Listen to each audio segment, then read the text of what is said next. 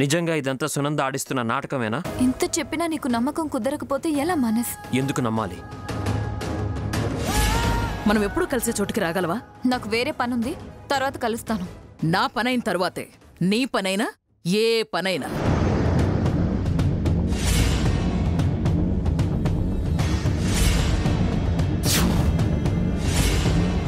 స్వాతి చినుకులు రాత్రి ఎనిమిది గంటలకు.